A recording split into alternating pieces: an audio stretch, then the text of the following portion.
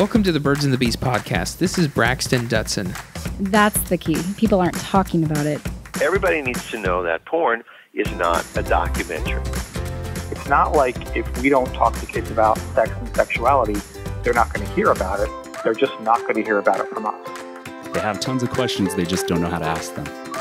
All you have to do is be one chapter ahead. You don't have to know everything. Mm. Just one chapter ahead of wherever your child is.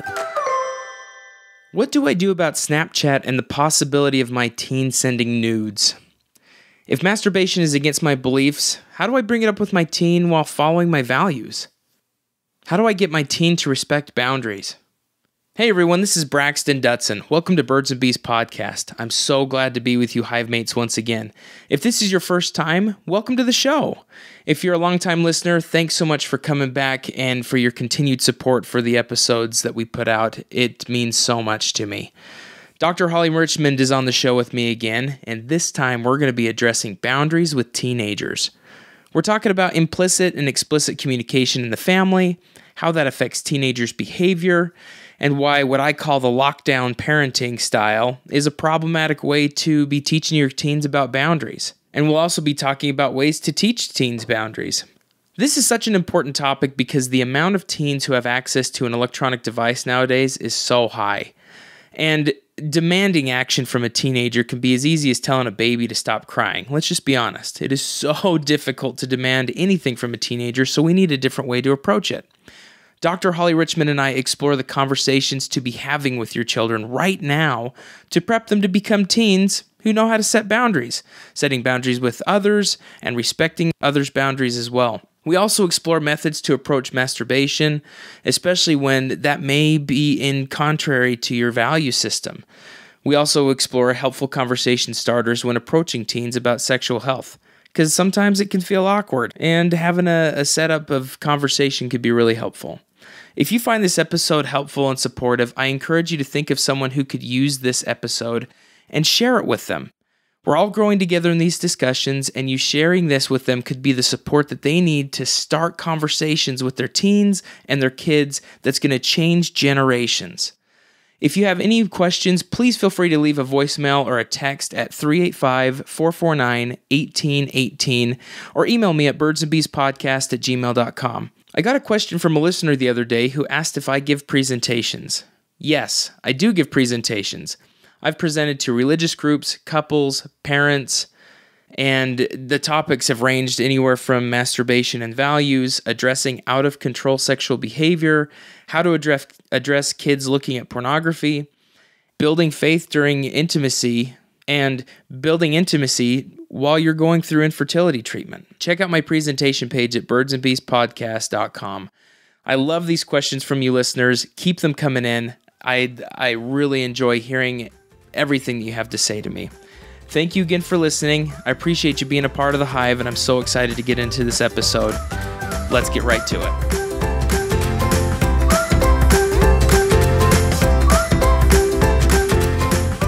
Today I have back with me Dr. Holly Richmond. Holly, thanks for coming back on the show. Braxton, I'm so excited to be here. Thank you for having me back. I am so excited for this uh, this episode as well because we have in the last one we were talking about you know building the relationship and sexual relationship and parents with younger children. Now we're going to move into something that parents um, are really curious about and kind of, for lack of better words, fearful of how do we parent teenagers, especially in a world of technology and sex? And today we're going to be talking about that. So I'm I'm excited to jump into it. Holly, I'm I'd love for you to introduce yourself again for those that haven't been able to hear that last episode, but tell us a little bit more about yourself and you know what you've worked with with teenagers. Absolutely. So, I am a somatic psychologist and certified sex therapist. So, somatic meaning body. So I really I take into account really how my clients are communicating through their body and we're going to get into this a little bit more braxton when we talk about implicit communication but what their bodies are saying as well as what they're telling me. Um, and combining that with sex therapy so again this sex is this this huge part of ourselves. It's a holistic piece of our health puzzle um, and helping clients individuals and couples figure out what's what needs to work better for them So, why and how I got interested in technology and specifically some of the new immersive technologies that we'll be talking about is specifically because of the somatic aspect of what I do. So, somatic, we talk about a felt sense. So, with immersive technology like virtual reality or augmented reality, or teledildonics, which we'll talk about as well, we're not just watching a screen, but we're feeling things. So, this new technology is giving us a felt sense of our experience. So, just like I'm talking about a felt sense with my clients, like, let's go to the body. What is this? What are your symptoms? How do you know you're anxious? Don't just tell me what you're thinking. Let's feel into those bodily sensations. This new technology moves us into that space fairly quickly. We've never had anything like this. So, in my mind, I'm like, let's use this as a tool to access the body more quickly and perhaps even more accurately to give mm-hmm. people competency, agency over their sexual lives. Yeah, I'm excited to get in into that where we're talking the somatic and and things yeah. like that. Um, when when you are bringing it into the somatic part of, of therapy and things along those lines. Is there a, do you ever get a sense of somatic responses when someone talks about parenting their teenagers whenever it comes to sex? Absolutely. And it's usually fear. Like I really like the whole room, just like everybody, everything comes up. I wish you guys could see me right now, but my hands are up in the air and you know everybody sits up and there's just it's a lot of fear. Like what are my kids going to stumble on? What are they going to find? What are their friends going to tell them? What's accurate? What's not accurate? And i think it's scary for a lot of parents because they don't want to be left behind. You know i think there's a sense for some of us like my kids know more about technology than i do you know how am i going to prevent them from seeing whatever i don't want them to see? And my reaction can be a little bit harsh but it's like i'd rather have you have the conversation with them about what you don't want them to see and why rather than trying to put some kind of lock on their system and take it away because i can almost always guarantee that they will find a way around the block or whatever security protocol you put into place. And again, and that's just fuel to their fire. If this is a secret and you're not telling them about it, they're going to be extra curious because they're teenagers and that's their job. I refer to it as lockdown parenting, where if you're the you become the warden and the inmates become how do I you know prison break? How do I get out of here? Yes. And it works really well for the first little bit. You know, you may send everyone to their rooms, you may take phones away and Xbox and all the things. And you're like, in this house, you got nothing. Well, guess what? They leave your house to go to school, to go to all these other places where you don't have control and it tends to turn into that rebellious teenager type thing of like hmm interestingly enough you don't have control over me once i step foot out of this house and i hate you or whatever it may be that they start coming back into Yes, absolutely. And most parents of teens want their kids to have phones now because we like to be in touch with them. So you can't give them a phone and not give them a phone, right? We give them a phone because it's like our security blanket with our child. I want to know where you are. I want you to be able to get in touch with me, but don't you dare use that smartphone to look up anything about sex. Yes. right? Right? Braxton, we talked a little bit about this in the previous issue uh, episode when we were um, discussing younger children, but the mm-hmm. same applies. And again, this conversation should be starting at four or five years old, and it's differentiating between the idea of privacy and secrecy. Yeah. So privacy is something we all deserve. Sex between adults happens in private. Masturbation happens in private. Secrets, that's for the more shameful things. That's for the things that we feel like we're doing wrong when we're having sex with our partner, we're not doing anything wrong. Kids being interested in sex, that's not wrong. But to put it under this big blanket of secrecy and put it in this bubble and try to lock it down, as you said, it does make it a secret. It makes it shameful and it makes it more alluring. And to be honest, it causes trouble when they're coming into their adult lives and have no idea what, what real, authentic, healthy sexuality should be. Yeah, I, I can't tell you how much I hear people, uh, men and women both, come into the office and say, Braxton, I just, from a young age, uh, you know, 12, I started uh, masturbating and in my, in my values with my religion or within my family, I was told that was, that was evil or that was wrong or that's bad. And I was, I tried so hard for years and years and years to not do that. But the entire time I was struggling with this. And now anytime I start to feel turned on. I feel like this is bad. I've been married for a few years and I just have a hard time. I, I get up towards sexual excitement and then I, I have to something shuts it down and I feel shut down because this is wrong and it's bad and it it really takes a toll on kids if we are trying if we're only focused on I don't want my 12 year old or my 16 year old to fill in the blank and uh, we need to, to also look at them as a 26 year old person that maybe in your value system is married or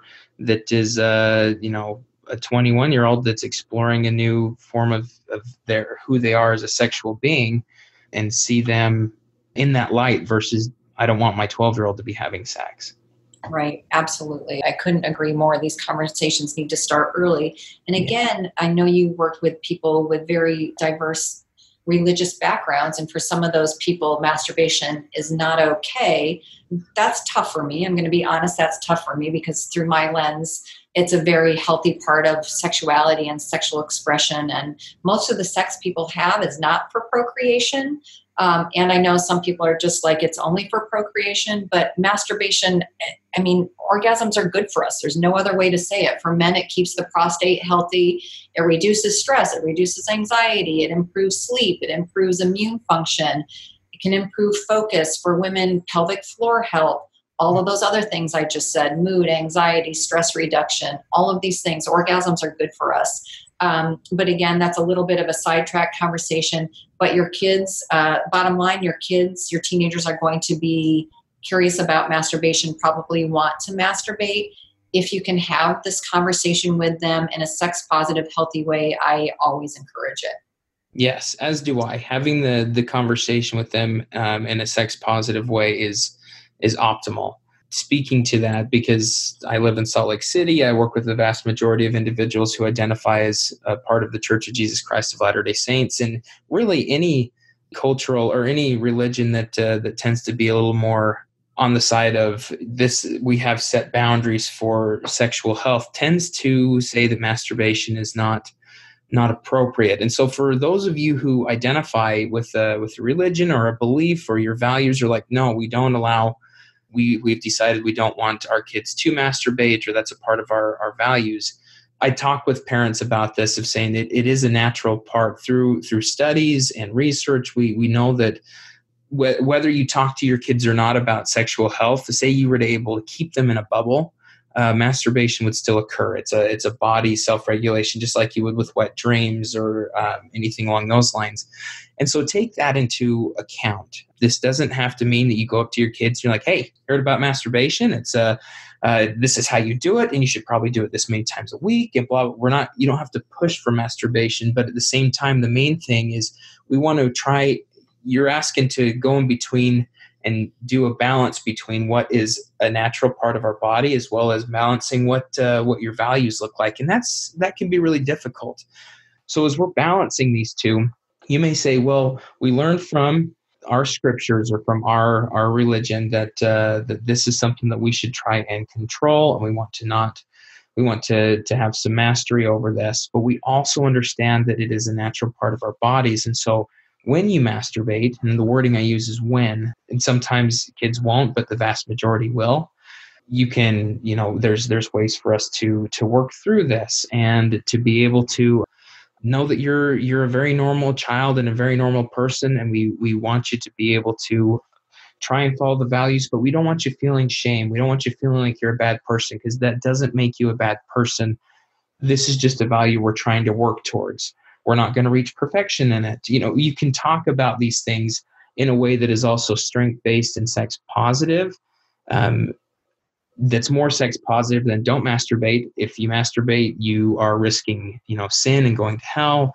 Uh, because in all honesty, the masturbation may still be occurring, and what they will do is they will shame drive secrecy, and so you'll end up having a teenager or a child that is in secret masturbating, in secret um, and I've heard many times harming themselves, harming their genitals, things along those lines to try and stop the masturbation. They don't understand what's going on. And so your kids could be hurting themselves. They could be thinking of suicide.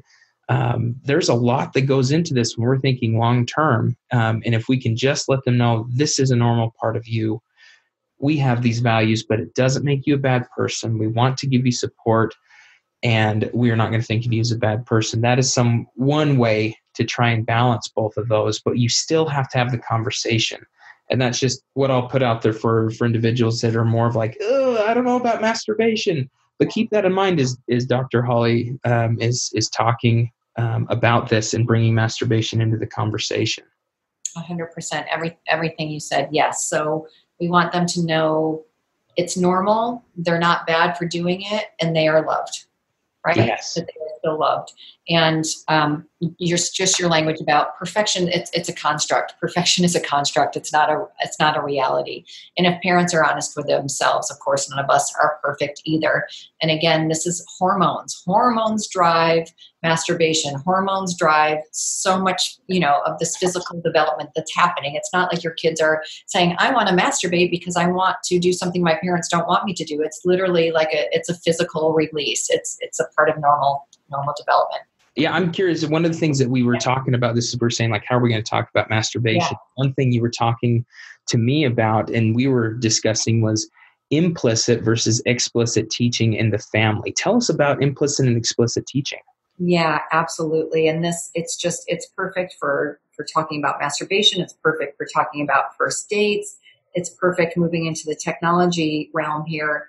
What do you text? What kind of pictures of yourself do you send? What kind of information do you readily give to people that you might not know that well? So, implicit language, implicit communication is things that we mostly do through body language um, it's the unspoken language. So that can be through body language and it can just be in what we don't say. So you've seen so many parents do this. They're talking, they're talking, and then it just stops like full stop, quick stop. And the kid's standing there looking like, I know there's more to be said here and I'm really confused. I'm not understanding, but my parents just did a full stop. Nothing more is getting said. I'm getting sent to my room and I don't even know what I did Mm-hmm. right? Oh, so yeah. that's implicit communication where the body language, the parents fold their arms um, across their chests, say, go to your room. The kid is very confused about what is going on here. Um, versus explicit communication where those are that's exactly what we're saying what we're saying is what we're feeling and i would love for the explicit communication to be this is a normal part of healthy development sexual and relational you're not going to be perfect you can do this in private it doesn't have to be a secret but this is privacy for you you're doing it right and you're loved Yeah. That makes a lot of sense to having the implicit versus explicit. So, how are you teaching? Um, I think one of those uh, the wording that comes up for me is uh, "do as I say, not as I do," um, or "I'm the mom and because I said so." And and kids pick up on that of like, wait, but you just did, and how come I can't?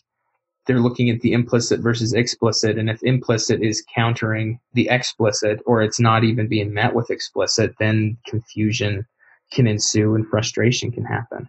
Of course of course. And when this is around the sexual piece it just it gets messy for young adults. So um, you know mom is saying we don't drink and we only have sex with you know our partner. But meanwhile kids might see mom getting ready to go on a date and she has a glass of wine with her hand and she comes home late and they're like they're filling in the blanks right? Whether whatever mom did was what they've talked about is okay or whether mom didn't. The kids are filling in the blank.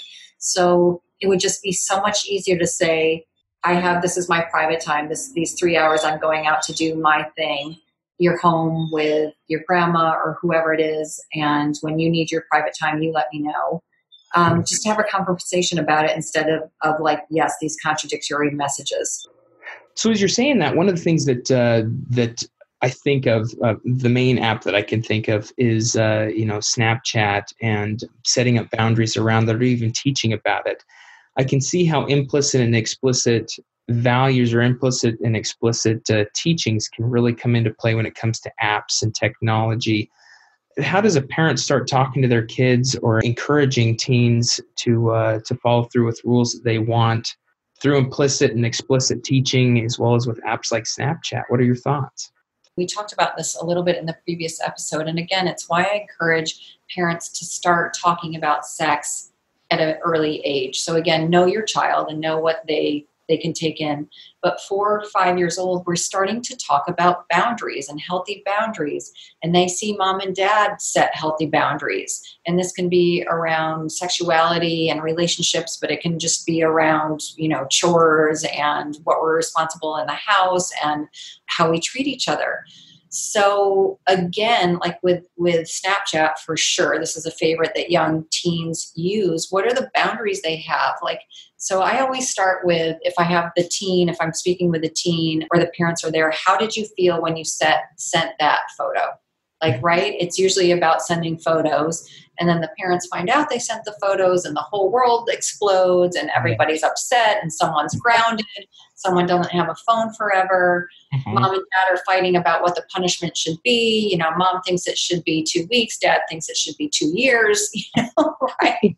Yep that lockdown parenting comes in hard. Yeah the lockdown comes. But the conversation about boundaries should have started in early childhood right? So the again, the child learns, oh, I can set some boundaries. Of course, my kids can't tell me no to really important things, but if they've got a no about something small, I let them have their no's. Like our no's, that's how a child learns how to set boundaries, right? And mm-hmm. no is one of our first words because we're trying, these little humans are trying to say, I need some autonomy. And that's exactly what a teen is doing with Snapchat. I need some autonomy. I'm figuring out who I am, what my boundaries are, what makes me feel good, what doesn't make me feel good.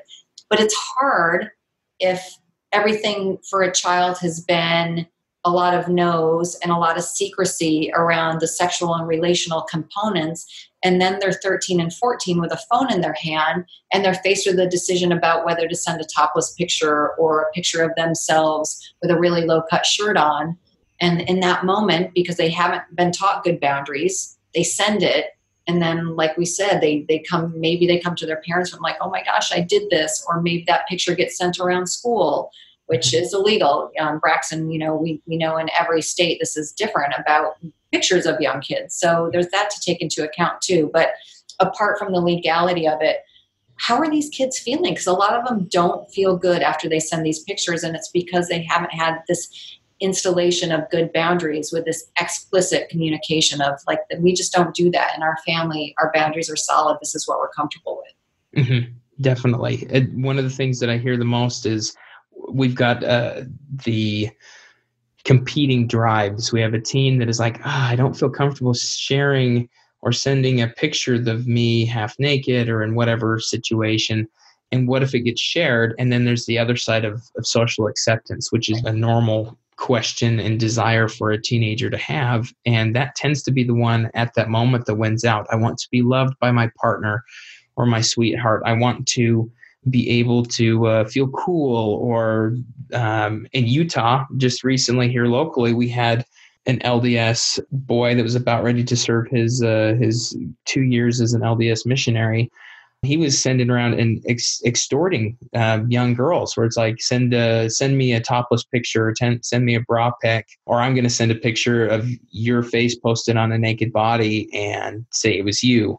And then he'd get one picture from them and then say if you don't send me another one i'm going to send this to this person and, and one of the girls was saying no i don't feel comfortable with that. He said okay i'm going to turn your name into this gang and you're going to get they're going to come rape you. I mean the, there were some very explicit things that were happening um, to get these pictures um, very explicit wording things along those lines and and the reason he was uh, this stopped he did this with many girls but one of the girls said mom i don't feel comfortable with this. This boy keeps telling me that this is what's going to happen. Is it going to happen to me? And mom was able to say it's not going to. We're going to go to the police. Thank you so much for approaching me about this.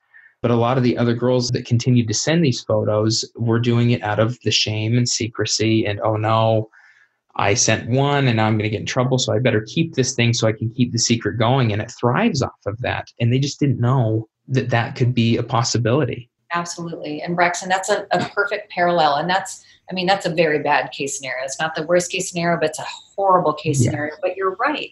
The one child who is like, I'm just like, this is not right.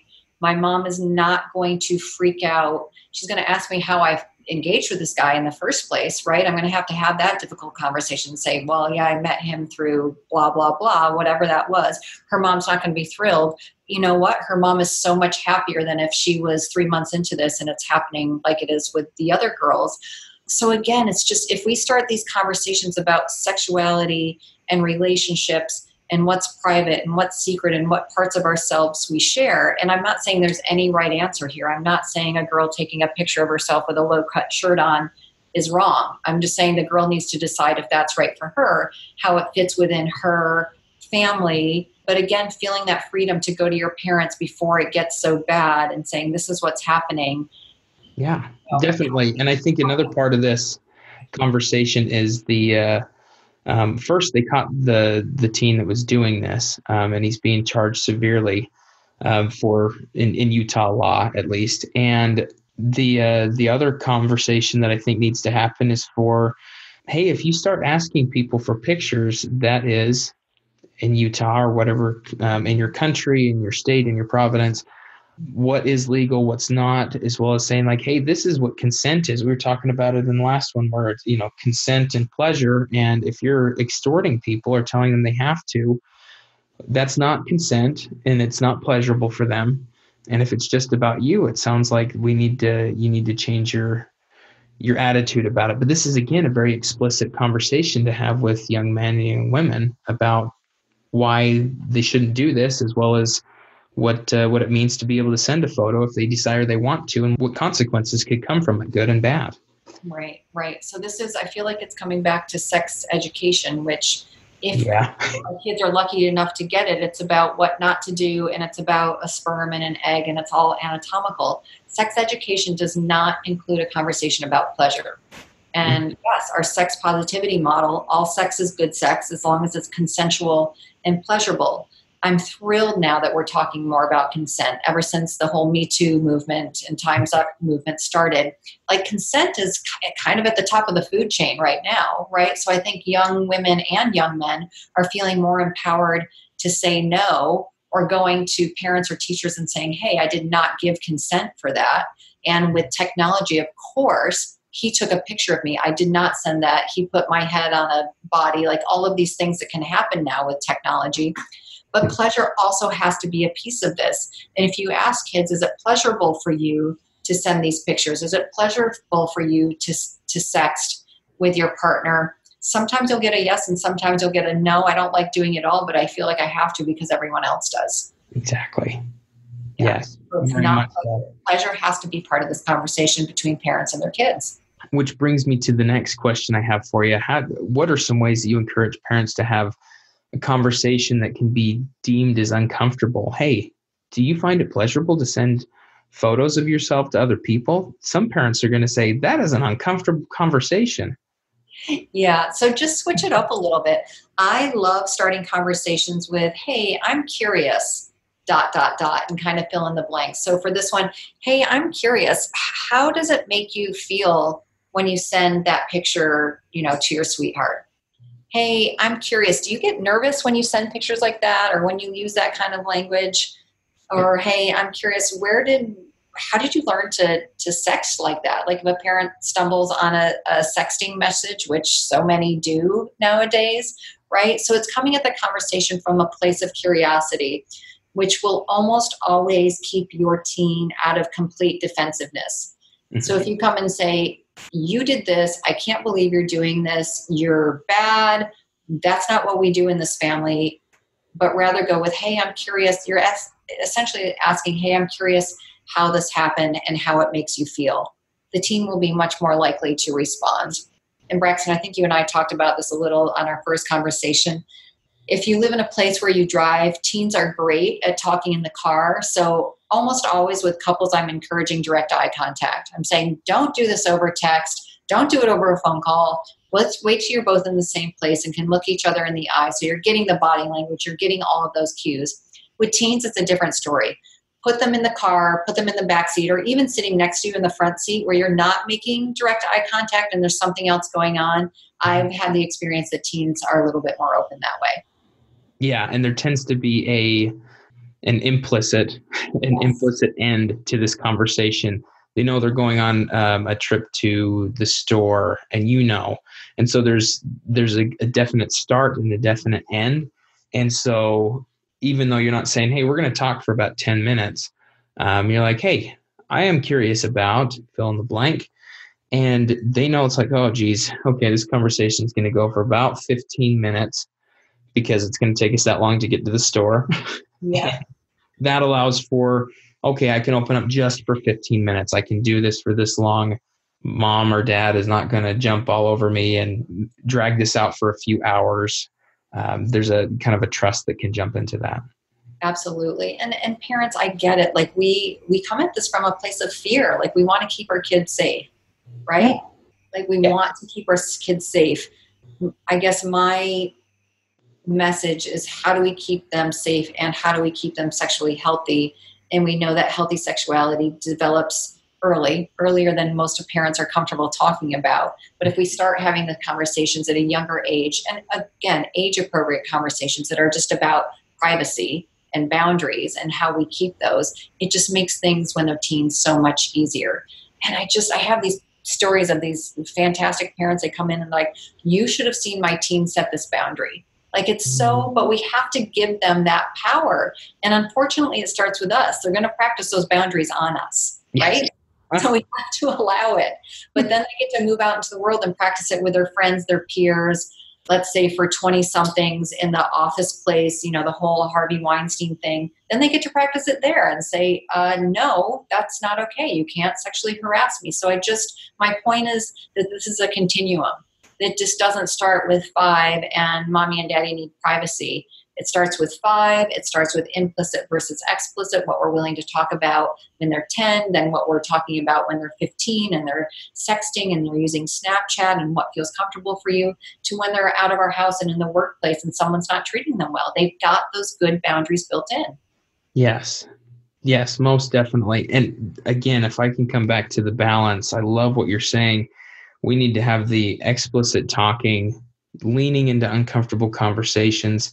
And i get a lot of parents saying okay so what's the again we we want to protect the kids. And so then we jump into okay so they'll just never have snapchat um, or they'll just never this. And i'm here to tell you in working with teens for years and years that it does not matter what rule you put down.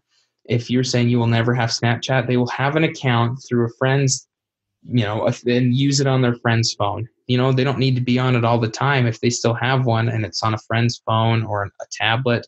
I've seen that happen. Um, so knocking it out can can you know setting boundaries that way can be important but to rely on those boundaries um, as the only way is uh, is it's too it's too much. You can't control your kid that much. It would involve you keeping them in the house and not letting them go anywhere which is illegal so right and it's not it's not conducive for them. What are you going to do at 18? Send them off and be like, "Congratulations, you're an adult now. Go do whatever you want."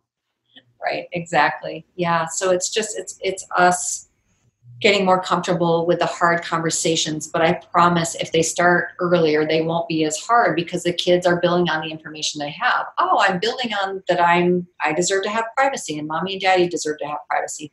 Oh, now I'm building on my implicit communication versus like what I say with my body versus what I say with my words. I'm building on boundaries. What's comfortable for me? What's comfortable in my family? What's comfortable in my community? So each child is different because of all of those factors. Definitely. And some of the listeners may have got on this on the episode to hopefully, you know, address a specific thing or a specific how do I deal with just Snapchat? And to tell you the truth, that would be an episode all in itself just on Snapchat. And there are apps that come out every single day that kids hear first. You can't stay ahead of the technology, it's happening too fast.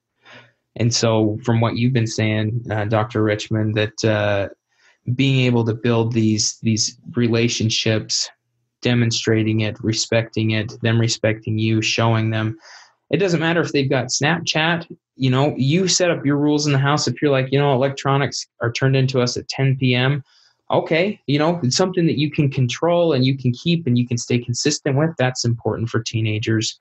But when it also comes to apps, you know, you can set up different things of like they can't re download apps or download apps without having a conversation with you. I always encourage that.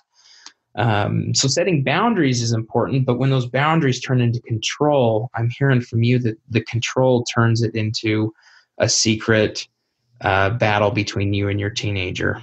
Right. And then the secrets turn into shame. And remember, the boundaries need to ex- expand as the children are getting older.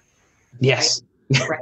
Yes, yes, they do. The boundary of a 10 year old to be the boundary when they're 15. It's just not healthy for them, which pushes them, forces them into a place of having to keep secrets. Yes. Right. So just being more open and, and Braxton, thank you for saying that about technology because I use technology in my therapy practice every day. And, and a lot of people are like, oh my gosh, I feel like therapy is this last bastion where we don't have to do any technology and it just can be one on one it can be that and we need to expand our model because like you were saying technology is not going anywhere. It's only becoming more of a part of our lives and for parents out there it's only becoming more of a part of your children's lives your children's lives your teens lives. So trying to control the technology is really it's not going to be an effective way to do it. Trying to have a conversation and understand your teen help them understand you help them again know that you love them and you're trying to keep them safe if that's the message without being like so in their face and controlling, hearing them out, that's usually a better way in. I love how you say that.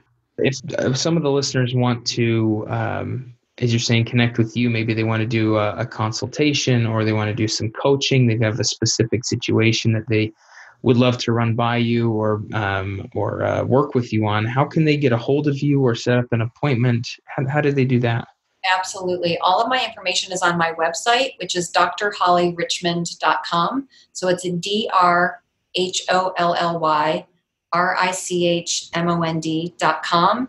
Um, email drhollyrichmond at gmail.com. My phone number is on my website. All of the social media is on my website. So that's probably the easiest way to go. So Facebook, Instagram, Twitter, it's all Dr. Holly Richmond. I'm pretty easy to find and love working with parents. Um, so please feel free to call. Wonderful. Thank you so much again for being on on the episode, Dr. Richmond. It uh, it means a lot, and I really love the conversation that you and I have had today. Thank you, Braxton. Okay, if you uh, have any questions for Birds and Bees Podcast, you can contact us at birdsandbeespodcast at gmail.com. You can also find us on the uh, the social media platforms, especially Facebook and Instagram. And you can always send me a text or give me a call, leave a voicemail. I don't pick up those phone calls, so I'd love to hear your messages. That's uh, 385 449 1818. And until next time, keep the buzz alive, and we're going to all get through this together. I promise you, we can do this as long as we step into these uncomfortable conversations and know you're not alone. We'll see you in the next episode.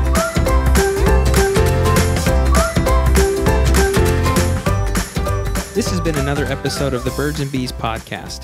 Thank you for tuning in. If you have any questions about the show, comments, or questions you would like addressed in another episode, please give us a call at 385 449 1818. Leave your voicemail and your question, or you can also email us at birdsandbeespodcast at gmail.com or visit us online at birdsandbeespodcast.com.